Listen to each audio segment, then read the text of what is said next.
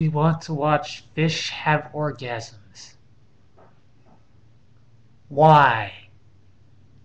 Also, your beard sucks. Get it shaved.